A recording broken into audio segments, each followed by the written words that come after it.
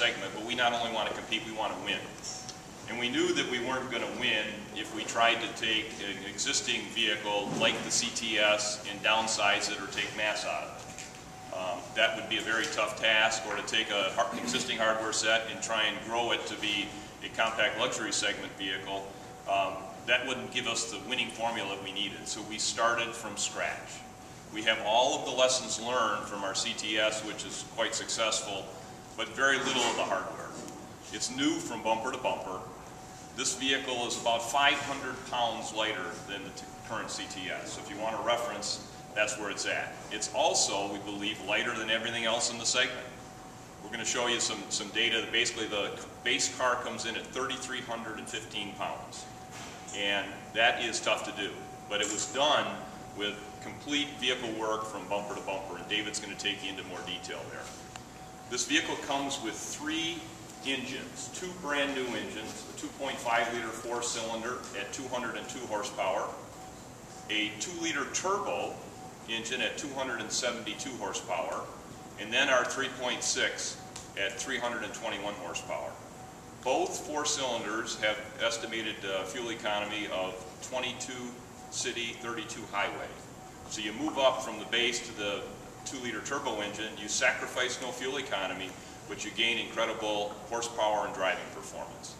At, with that 2.0 liter engine, the turbo it's actually one of the most power dense engines in the industry at 136 horsepower per liter. That is really an achievement. And this vehicle is extremely fun and engaging to drive. You're going to get to see it again in just a few minutes.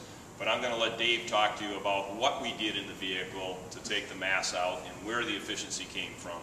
And uh, we'll go from there. David? Okay, thanks. So when, when we uh, uh, got the green light to, to start work on this program, uh, it was actually about five years ago. And uh, we spent a good two years working on uh, understanding the market, understanding our buyers, and also starting to do a lot of development work and design work on many of the architectural elements that we have in the car here. And that was even before we begun uh, doing some of the styling work uh, for the program.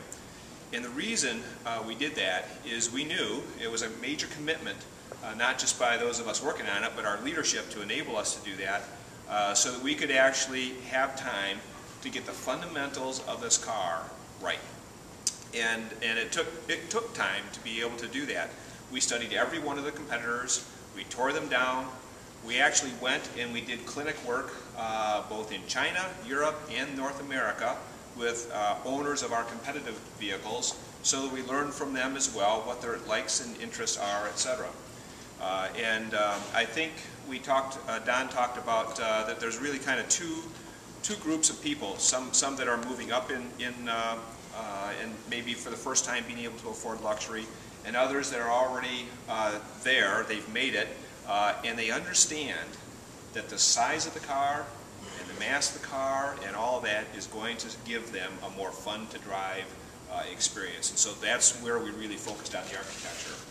We actually changed a lot of some of our own best practices within GM, and it took us a while to, to work through some of that.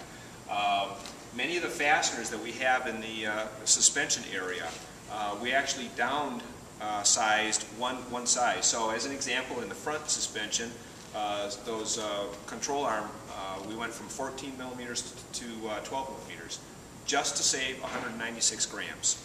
Uh, and so it, just as a, an example of the extent that we went to in order to save mass and control the vehicle to be get, able to get to that end goal of, of fun to drive. we worked on the efficiencies of the design so that we, line, we we bolted the suspension uh, right where the body structure is to be able to make sure that it's as efficient a design as possible. Uh, even some of the body structure elements are very small and they have lightning holes throughout them. And the whole reason was to uh, take mass out and get to the goal of, of uh, fun to drive. As we, we uh, walked through the car, we, we ended up uh, doing a lot of underbody aero work so we could get great fuel economy, so the customers will appreciate that uh, including working uh, the downforce of the, of the car to make sure that the vehicle was, was even at speed, was held down to the, to the ground uh, and uh, could, could provide that really solid, uh, predictable feel in the steering wheel. Uh, A lot of extensive use of aluminum, um, you know, cross members, transmission, engine blocks. We even have magnesium uh, engine mount brackets uh, to be able to uh, save some mass. Um, Aluminum extensively throughout the, the vehicle. And then we even uh, went after some of the right key suppliers, uh, indoor components to make this car uh, fun to drive. So we have a ZF steering gear. Uh, We know uh, that they do very well with the precision and the friction in the steering system that, that they provide. We spec that out. Brembo brakes uh, are available on the car as well. And that helps you so that you almost feel the road as you are braking. Uh, And, and also adds to that, that fun to drive. And it all worked even into uh, the body structure work that we did, as well as the chassis. All of that was interactive and, and uh, to try and make sure that we could be as efficient as we, we could be.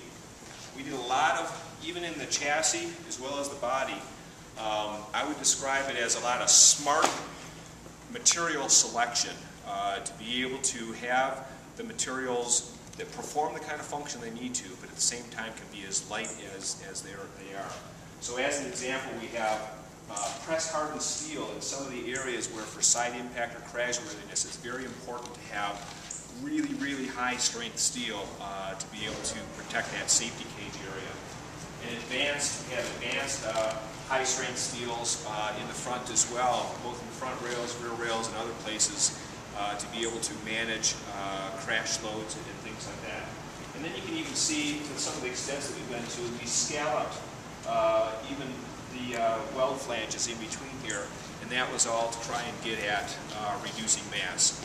We saved in the neighborhood of three to 4,000 grams just in the area of adding some lightning holes and uh, being able to uh, scallop the flanges. So all that combined gets us to the performance that you'll be able to uh, get a little appreciation for later on today when uh, after lunch I think we'll go for a, go for a ride. So uh, we're, we're thrilled uh, to be able to first of all, been given the opportunity to, to do this, this program, the time to do it, and to do it in all the fundamentals in the car very, very well.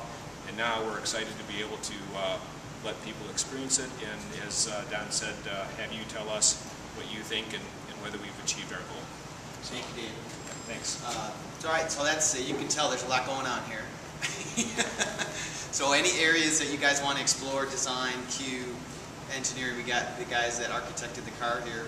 Uh, One thing I'd mention is we even got some, some new tech in the XTS, the bigger car, ATS, uh, this car, really built for traffic. Even the traffic that you guys have every day in this town, which, which is not great. well, like adaptive cruise uh, that can take you all the way to a full stop, leave your cruise on, and then resume in a consistent following distance with the cars in front of you. We have what's called a safety alert seat. Uh, for lane departure warnings, you guys have probably experienced those on other cars, or uh, any kind of obstacle detection. Uh, we'll, instead of flashing lights at you or beeping at you, which we're all we're all accustomed to ignoring certain uh, inputs that we get on a daily basis. So what we've done in the seat is we'll pulse your seat. So if there that obstacle's on the left, we'll pulse the left side of your seat, yeah, which is kind of a cool, like discreet. My wife won't yell at me, you know, because only I got the Right, message. right. You know, uh, my daughter's okay, you know, she, she doesn't have to worry about it. But I know exactly not only that there's an obstacle, but where it is. Uh, so some cool technologies too that are in both the new uh, cars coming out this summer, including this one, that we even think are particularly interesting uh, for you know people in places like Los Angeles, Atlanta, DC, where where uh, kind of urban and suburban traffic flow is a major daily uh, event.